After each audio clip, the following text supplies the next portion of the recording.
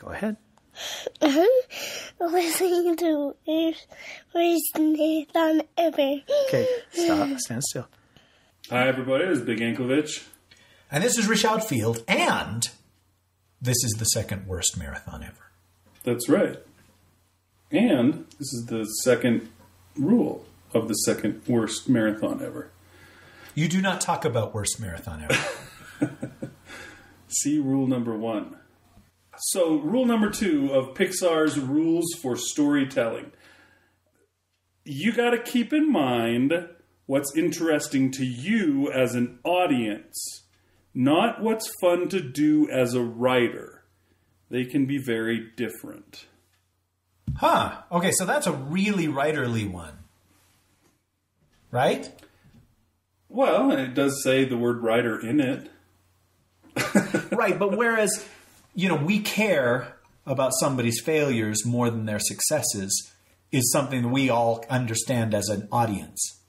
But what's interesting to you as a writer is not necessarily interesting to an audience. Feels like much more writer centric. Yeah. You have to be a writer to understand that. And I don't know how we're going to come up with an example of that because that one's hard. I mean, oh.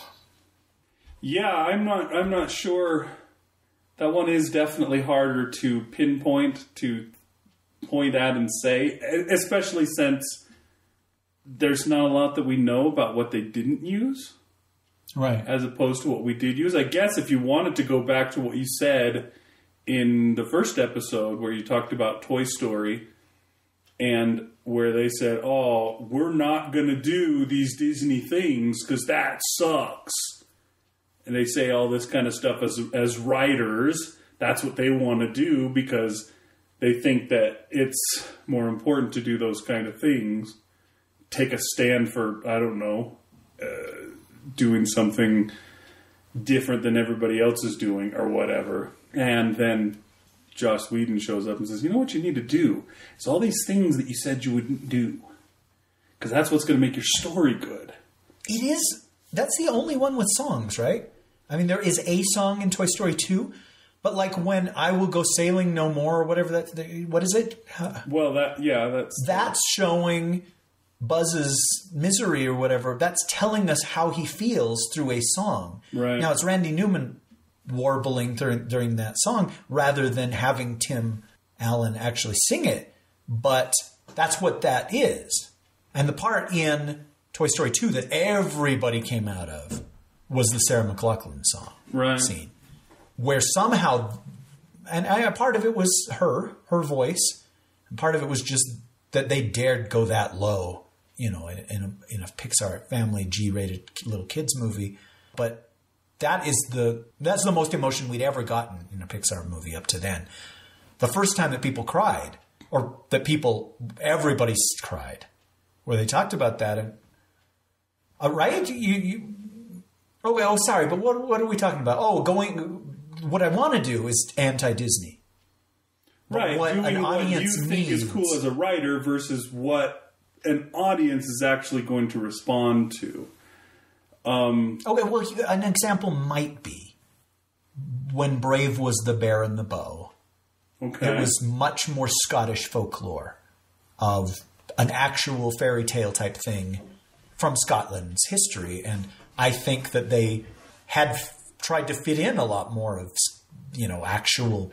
You know, we'll go to Scotland and we'll read up on Scottish minutia, and we'll get to do all this stuff about you know what their you know the people believed in Scotland 500 years ago, and and, and the kilts, and we'll talk about the you know the oh and and that'll be so much fun. And then ultimately, at some point, they said, "No, "We're going to try and make it more universal, and we're going to just we're going to focus on the character of Merida and and her mother, and make it more about that than about magic and the hero's journey. I I, I, I don't know because we again yeah we, we, don't, know, what they uh, the, what they threw out what way they looked at that rule and said oh you know what we're gonna have to dump the the 15 minute dance sequence that you wanted to put in there i know that sounds cool to you as a writer because you love so you think you can dance so much but the audience might not really want to go there the interpretive dance thing where Merida puts on that black leotard and her and her mom act out their feelings through dance. We may have to dump that sequence. I'm sorry. That ended up on the DVD, though, right? Well, of course. Okay. I mean, they they animated the whole thing. yeah, I mean, it's hard to say. That, that's why I was saying the only example I can think of is what you already mentioned, where they're just like, "Oh, we are not doing this, not doing this because that's just not cool. We're doing something different." Well, And then everybody said, "You know what? I know you really want to be different, but the reason they do that is because it's good." because it works. Yeah, I remember when Incredibles, when the DVD came out, there was all this extra stuff about the just the myriad superheroes that Brad Bird had created, and they all had funny names and they all had powers, and and you could read up on them or or watch a little feature ad on each one of them and all that, and almost none of it made it into the movie. Yeah, There was like Gazerbeam or whatever mentioned, and we see his Yeah, a few of them they throw it out real quick. Dynaguy was sucked through the plane by his cape, and this. But they, yeah, I, that as a writer would be a blast to come up with a dozen superheroes and their powers and and such, and, and Right. so maybe that's part of it as well. It's something Yeah, that he would have enjoyed doing. But it, it had to be more about the family. It had to be smaller, You Right. know, it, Yeah, it's it's uh, it's kind of like uh, we. I mean, this isn't a Pixar related reference, but often we talk about um, J.K. Rowling and you know her magnum opus of the Harry Potter series, and all the stuff that we know that she has that is basically she's the only one that knows about because yes she put it in the notebook as she was preparing to write this series and so she knows the backstory to this guy and this guy and that guy and the other guy and everybody and the you know the garbage collector that comes and takes the, the trash away from the Dursleys' house. She knows you know that this guy's marriage is on the rocks. All that kind of stuff but we don't know it i mean that's cool to her but Harry Potter, those books were long. For children's books, they were surprisingly long. And we didn't need them to be, you know, Shogun level long, it level long. The stand, after it's been at, you know, the, the, the re release of the stand level long, because, nobody, you know, people aren't going to read it. They're going to get bored. And that's one of those things you will often complain about with Stephen King, where just like, oh, he goes into all this detail, and then, of course, kills that character the very next page. So all that detail is just a waste of time. You know, I mean, that's fun as a writer to come up with details for all that crap, like you were saying, to come up with all the myriad superheroes. But uh, for an audience, not so neat.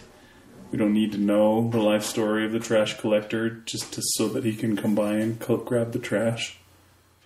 I don't know, something like that. Okay, well, that's uh, that's rule number two. Um, see, that one's harder because it's much more inside baseball. We don't know. If we had Stanton here, we could ask him. You know, he's like, "Oh, I did research on so many kinds of fish, and you know, oh, did you know that purple tangs do this and do this?" And he's like, "I tried to find a way for Dory to do that." Or is she a blue tang? I assume she's a blue tang because she's blue, but I don't know. But I ultimately I had to toss all that because you know it's there's no way of knowing. Yeah, but um, I think it's still a, a good rule to keep in mind. Just, I suppose, as you make a decision, what way you're going to go or whatever, keep in mind, not just because you as a writer think it's cool, but what would an audience think? And I guess that is kind of a, one of those things, and I've, I've heard a lot of people talk about that too. Is that you know when you're writing a novel, you need to know what your audience is for that novel, or uh, when you're writing a story, think about what the audience is going to be for that story, and you know try and tailor it for that. So if you're trying to write a YA novel, you know there's certain things you can do and sh- other things that you shouldn't do, and you know even though those things you shouldn't do would be awesome maybe you better not. Uh, something like that. That's my two cents. Okay. Second worst, marathon, worst marathon. It is, isn't it? Ugh. Maybe we can redeem ourselves in the next one. All right. Well, thanks for listening, folks. We'll be back again tomorrow with another little tidbit, another rule. See how it goes. I'm Bigg Anklevich. I'm Rish Outfield. Good night. That Gets My Goat is released under a Creative Commons Attribution, Non Commercial, No Derivatives license, meaning share it with everyone, but don't sell it or change it.